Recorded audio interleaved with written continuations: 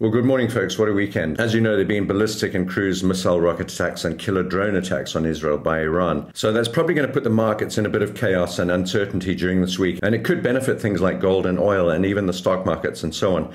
However, there is this idea that this is a sort of an orchestrated dance and it's not a real attack. It's a retaliation, a show of strength, a saving of face, if you will, for the Iranians, and that it was almost an agreed sort of retaliation by the various parties involved. Now, I'm not sure if that's true or not, I don't know, but if it is, the markets will react differently, and we won't see the flee to safety like we've seen, and perhaps it could even be the opposite way around. There could be some sort of deal or peace treaty or truce or some sort of agreement that goes on, and the market gives a collective sigh of relief, and actually the things go in the opposite direction. So be aware of all of that. It's a lot of geopolitical shenanigans going on. And of course, we've got the Middle East situation now heating up. Russia, Ukraine, sort of in a in the balance right now. I'm not too sure of the real military status of that conflict. So bear all of that in mind. Everything is not what it seems, and things could get a little bit weird. I put a few tweets up on X, but not a lot. I had a quiet weekend. There's one in Iran attacking Israel here.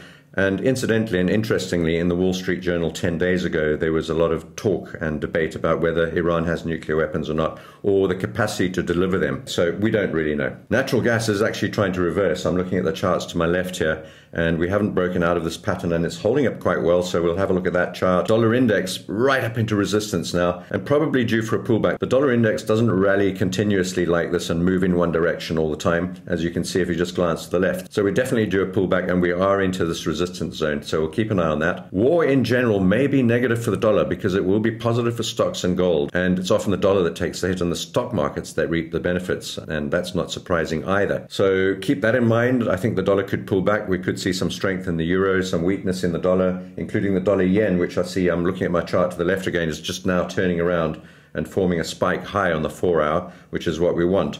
Natural gas we've talked about. We had those tweezer bottoms. And here's WTI. Now I put this chart up on the 12th, which was Friday. And I drew this pattern. This pattern didn't hold and we actually spiked up into this red block. But we're now pulling back down again and actually quite weak. I'm going to add more to my short position if we close beneath $84 today. I'm looking for a move down and a breakdown below the support and a move back into the channel. We'll have a look at the chart shortly. Yeah, and that's it for now. I'll put some more tweets up on X a bit later on. So if you're not following me on my X channel, you can go over there at ArcisFX. Let's go and have a look at the charts. I don't want to spend too much time on what's going on just to gain a positional update, but I will do another detailed video later, and I'm planning a live stream this week, so keep tuned for that and I'll put that notification up today. Basically, I'm looking to buy euro into dips if we do see a reversal on the dollar. Now, we've just approached the support level on the euro. We've got the 78.6% Fibonacci below us at 1.06. That's a very key number. It's a round number. It's also within this order block. And on the daily chart, the euro is becoming a bit oversold. Overall, I do think we're going to see further euro weakness and dollar strength. And that means any rallies in the euro in the end will be good opportunities to sell if the dollar retains its strength.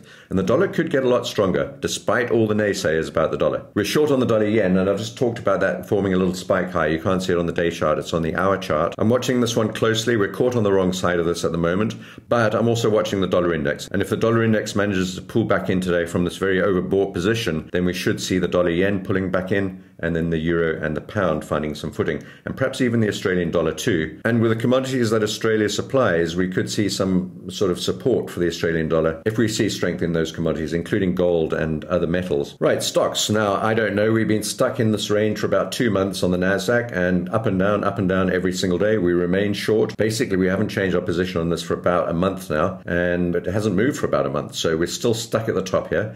We're in a bit of profit on our shorts from near these red arrows. We've got nothing on SPX. We're short Nvidia. We're long on Apple. That, that's going incredibly well. That was uh, unforeseen, I suppose. And then Tesla we're long as well. That's just been going sideways for quite some time. Now, on metals, we had an interesting one in gold. I'll try and sort of reconstruct this for you. We went short at 23.20. We hedged at 23.45.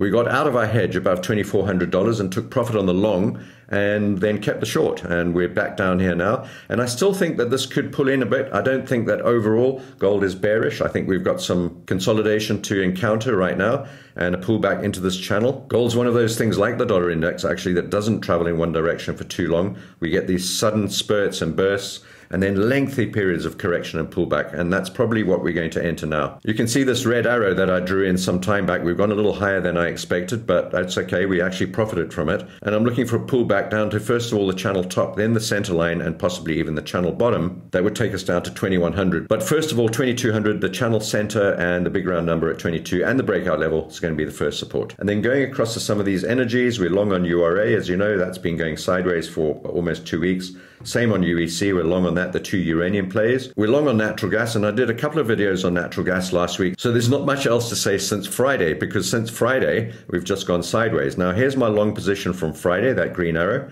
Those were previous long positions. Those have been played out already. So this is the fresh one. I'm looking for a move up to $2, 215 or 220 and then 235 or 240. If we fail to hold support here, we've got various blocks beneath us. This is a 4-hour chart. I'm going to switch to the day chart over at my broker. And it's interesting to look at the day chart on my broker's chart. I don't often do this. I normally look at the Henry Hub. These green arrows are all of our entry points over the last month or two. And we've been pretty consistent in picking the bottom, and this time we've picked another bottom. I'm hoping that we won't dip down below here. We are below the moving averages, bear that in mind. We're below the 20 and the 50 and the 100 and the 200, which is miles above us. With a bit of luck, we won't have to revisit the bottom of the support level at around 1.5, and we'll continue to move up from here. What I can also do is draw a Fibonacci retracement study on here from the bottom to the top, like that. And you can see we've retraced exactly 61.8% of the swing from this low to that high there. I must warn you, of course, that if we don't hold here. We've got 1.65 below us, this previous swing low. Then we've got 1.5-ish, that's this year's low, and potentially even lower. I don't think, once again, that that's the most likely path. Let's switch this back to the four-hour chart and once again have a look at it. We've got a little reversal pattern going on here as well. I called this a megaphone pattern. I actually put a tweet up on it. It looks something like that. And someone else pointed out to me it's actually a lozenge or a diamond formation, which it could be too.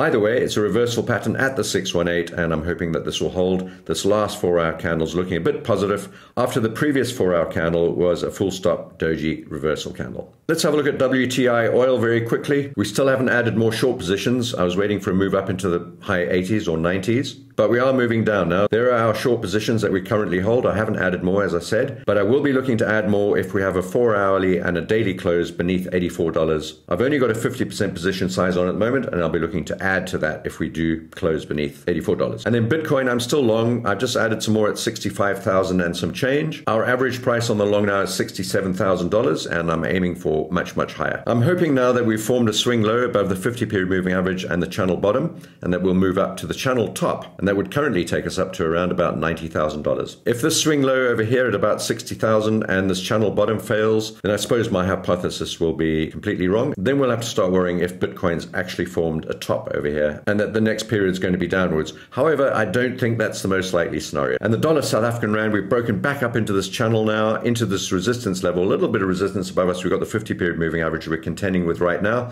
We've got elections coming up, and I think there's going to be some pressure on the rand. And if you haven't subscribed to this channel, now's a good time to do so, so you get notification about the live stream and all the future updates. And a thumbs up would be much appreciated. Have a great trading week. Take care.